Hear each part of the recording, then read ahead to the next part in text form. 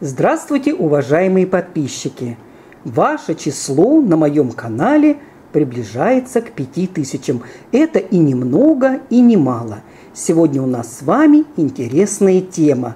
Как выбрать луковицы гладиолусов для посадки.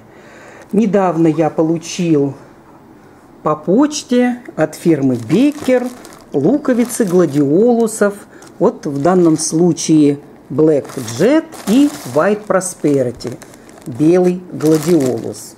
И один из моих друзей подарил мне несколько луковиц. И сегодня мы с вами как раз поговорим о качестве посадочного материала и как выбрать луковицы, если вы где-то на рынке или в магазине и у вас есть возможность выбрать. Давайте посмотрим на эти луковицы. Ну вот, луковица вроде бы не маленькая и небольшая.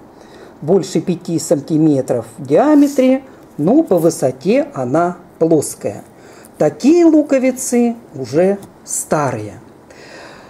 Поэтому еще под вопросом, пробьются ли вот эти вот ростки, вот здесь вот ростки, и будет ли вообще эта луковица цвести. Чем э, тоньше, скажем, площадь эта луковица, тем ближе день ее, так скажем, э, смерти.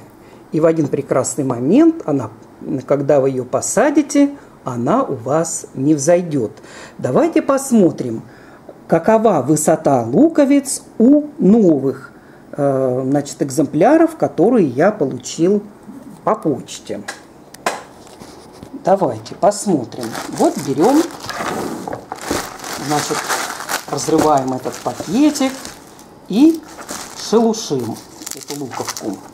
Перед посадкой, конечно, нужно э, их расшелушить полностью и замочить в марганцовке. Обязательно на полчаса или даже более. Вот посмотрите, идет, так скажем, росток. И мы видим, что все-таки эта луковица плоская, она, скажем так, э, не первой свежести. Большой, самый крупный цветок получится у вас из той луковицы, высота которой больше, нежели диаметра. Получить такую луковицу можно следующим образом. Вы, как обычно, сажаете вот такие вот луковицы и когда у вас будет стрелка, выйдет цветонос, вы не разрешаете ему цвести. То есть вы срезаете его. Таким образом, луковица наполняется питательными веществами, и именно такая луковица даст вам уже, к сожалению, на следующий год э, самый крупный цветок. Ценятся, конечно, гладиолусы за э, свои э, цветы. Вот, предположим, Оскар, всеми известный сорт, темно-красный, но, к сожалению, он не держит более пяти цветков открытыми. Ценятся, конечно, сорта, когда они держат в своем колосе, когда колос большой, широкий, двухрядный, более 10 цветов. Э, и вот такие, например, сорта, как White Prosperity, как раз и э, держат именно 10, но не более. Конечно, это не выставочные экземпляры. Выставочные экземпляры держат от 15 цветов. И чтобы получить такой гладиолус, как я вам уже сказал, нужно не разрешить этой луковице цвести. То есть цветок нужно срезать. На следующий год у вас будет самая крупная луковица, которая даст вам выставочный экземпляр гладиолусов. Возьмите это себе на заметку. Когда мы с вами сажаем гладиолусы? Сажают гладиолусы, когда раскроется листья на березе. Когда лист березы падает, пора гладиолусы выкапывать. Можно попробовать не выкопать гладиолусом на следующий год – процент их схожести будет э, крайне низок, где-то ну, 30-40%. Хотя вот лично я, поначалу, когда я не знал, я не выкапывал свои гладиолусы и замечал, что у меня почему-то теряются луковицы. Ну, тогда я был начинающий садовод и практически ничего не читал про цветы.